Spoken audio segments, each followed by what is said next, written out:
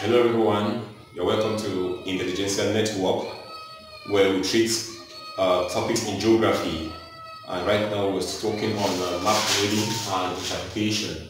Today we shall be uh, interpreting the relief on the topographical map and we shall be looking at the expected features one should come across within uh, a topographical map. But first, let me use this occasion to uh, appreciate and thank you all who patronize my videos.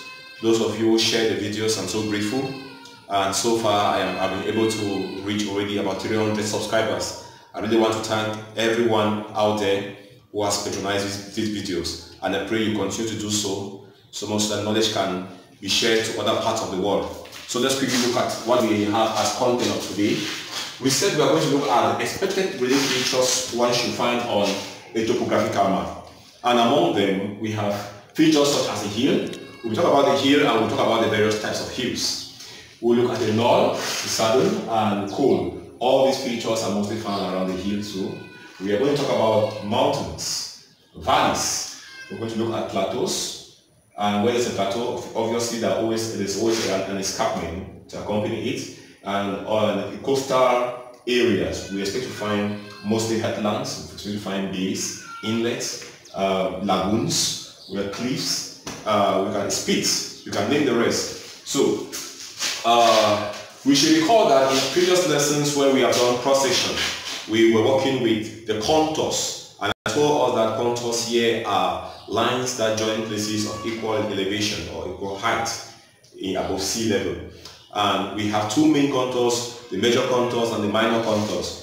When, whenever you're drawing a cross section, you should remember that you pay more attention to the major contours because the minor contours are mostly found within the major contours. So uh, uh, the relief features that are also found on the map are always indicated by these contours and the patterns in which the contour takes. When we talk about the patterns in which the contour takes here, we're looking at the degree of closeness or spacing between contours. We are looking at the contour values, how they are increasing.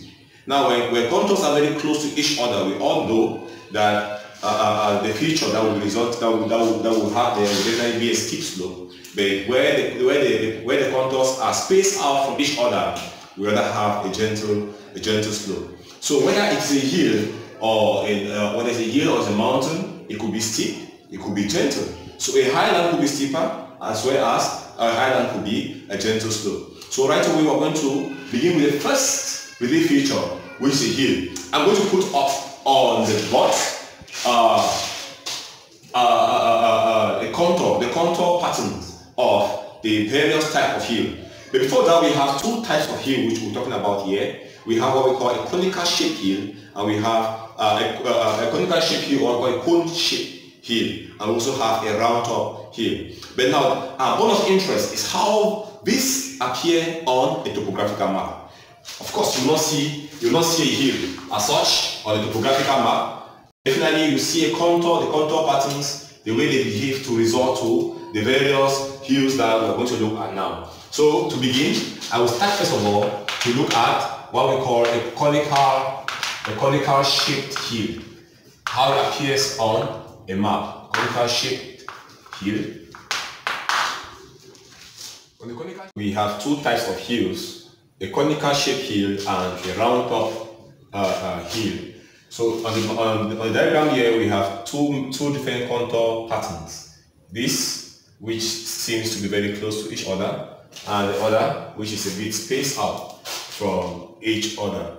And you should recall that a hill will be any feature where, where, whereby the contours are increasing inwardly. Therefore, as you live from, from uh, the, the sea level and move upward, the contour values are increasing inwardly.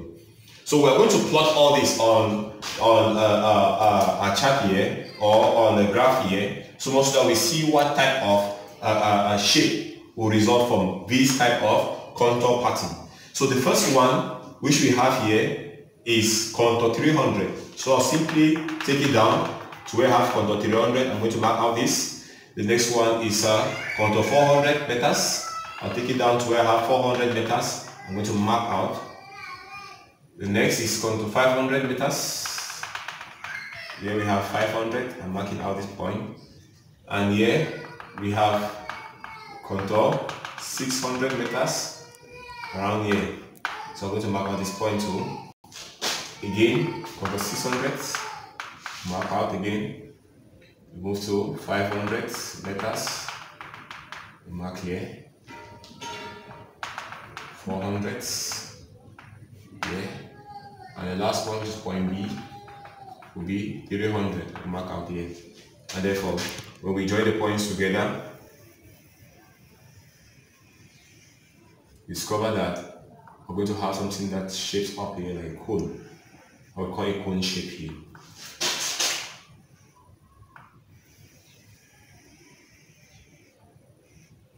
Right down to 300. So normally, uh, on, on the map, we discover that most cone shape, uh, uh most uh, conical shape fields are always concave in shape, meaning that they always take a shape as such.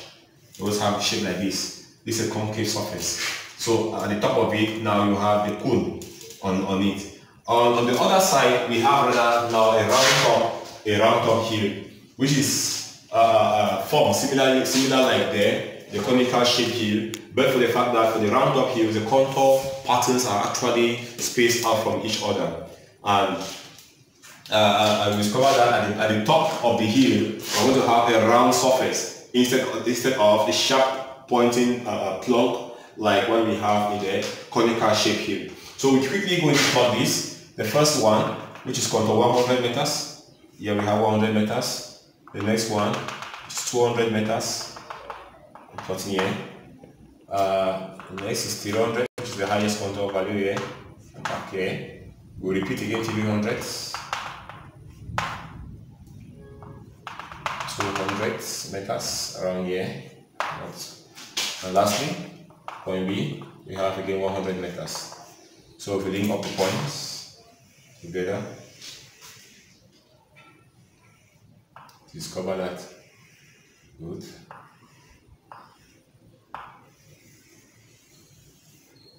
So discover that at this point here, the, the, the, the surface of the hill is round as compared to this other point where the, the surface of the hill is rather of a conical shape. So most uh, uh, uh, uh, round top hills, the sides, the flanks of the slope are always convex in nature. So they are always called convex shaped hills or round top hills. So we quickly look at the knolls too. Talk about the knolls, what a knoll is. Now we discovered that on the hill slope we have uh, uh, we might have two hills, two hills of equal elevation as we are going to see on the diagram that we are going to put now on the. So we're going to talk about now the uh, the knoll, the saddle, and the col. How you can find them on the map. I think we must we must have seen this on most maps. A feature like this one on most maps. When you see such feature, just know you're dealing with a, a knoll, the saddle, and and it may, may be a col. But in this situation here, we have just a knoll and the saddle. So these two, these two uh, uh, features are the knolls. The knolls are similar to hills, just like the round top hill or the conical shaped hills that we've mentioned. But we, we, it's peculiar here because it occurs on, on both sides and we discover that they are mostly of almost equal elevation. Here we have contour, 500 meters, which means that at this elevation here is 500 meters. Here we have a spot height of 525 meters, which means that the differences is not really that much and we can term these hills here as knolls because they are going to be separated by a valley which we call a saddle. And most at times on the map, you discover that a saddle is always used for economic purposes like the construction of, of roads which, which cut across the saddle. So you here we're going to plot out from a point, let's say point A to point B, very cross section like this. From point A to point B,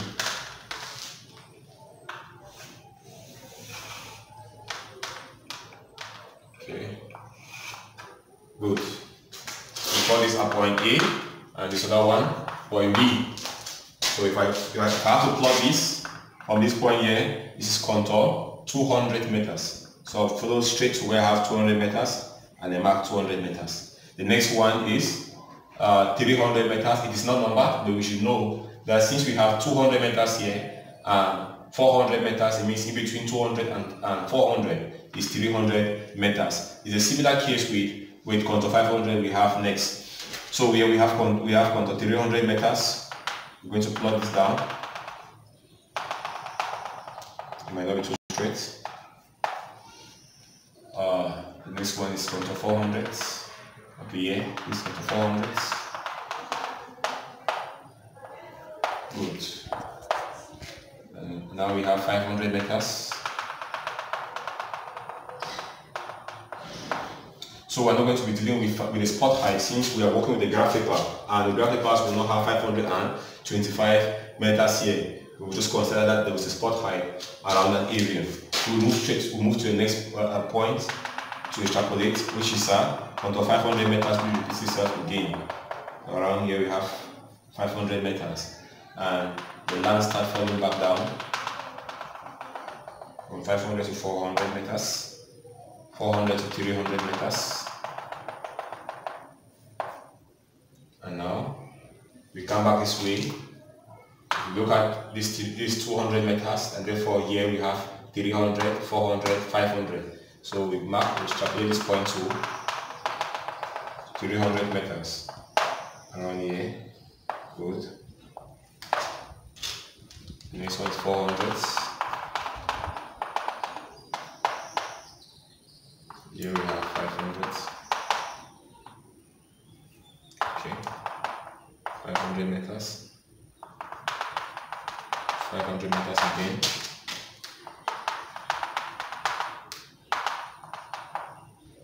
Here we have 400. You have 300 and point B last point extrapolate very well give us 200 meters so if we have to join the points together link up the points together we have something that slopes as such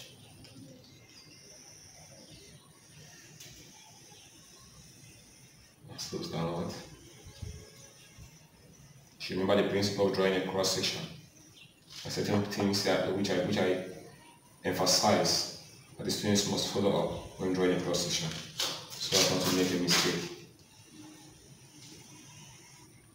Good. So this point here, this is a knoll, and the same point here, we also have a knoll. So the two knolls are being separated by a depression, which we call it a saddle. The saddle. In situation whereby the depression is not that, that wide, we will now refer to it now as a col if you had been the depression was very narrow, they will refer to that word as, as a col. So here we have a very steep flank. We have steep flanks. The steep flanks are the same like the steep flanks are the same like the steep slopes. Steep slopes. Here the slope is gentle, meaning that you can easily climb a gentle slope. A gentle slope. You have. So uh, in the next video, we shall be working on how to identify a mountain and a valley, plateau and escarpment, and the headland, base and cliff. Remember, dear friends, to share these videos to your friends, share these videos to uh, uh, your classmates. It might be very useful to them. I still want to thank all of you for patronizing my, my, my videos and for sharing. Keep up and we hope to see you in the next class. Thank you very much.